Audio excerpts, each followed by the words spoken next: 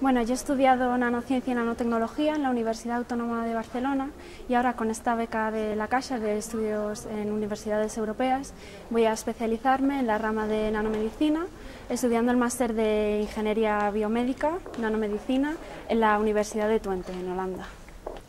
Ah, pues he escogido este destino en la Universidad de Twente porque es una de las pocas universidades que ofrecen este tipo de máster que está tan especializado. Eh, además, en apenas 50 años de la fundación de la universidad, se ha convertido en una de las universidades eh, más innovadoras de Europa. Tienen instalaciones y equipos de última generación. Eh, la relación de los profesores con los alumnos es muy cercana y los grupos de investigación hacen proyectos realmente innovadores.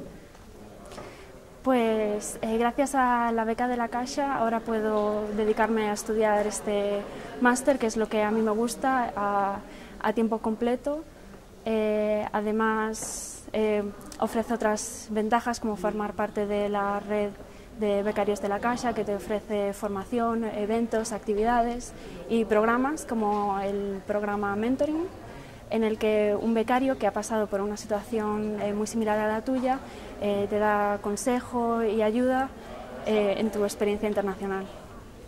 yo creo que mi mayor motivación es el potencial de la nanotecnología para cambiar la, medicina tal como la conocemos.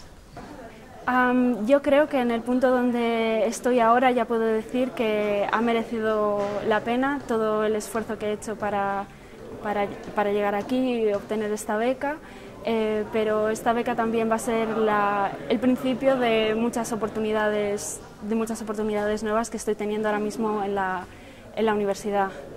Con, la, con esta beca y sobre todo con la extensión, eh, la extensión de esta beca para el segundo año de mi programa de máster, espero poder realizar mi tesis en el desarrollo de una terapia nueva para eh, tratar la fibrosis eh, hepática, que es una patología común a muchas enfermedades crónicas del, hígado y que suele acabar en, fallo o insuficiencia hepática, del cual el único tratamiento posible es el trasplante de hígado.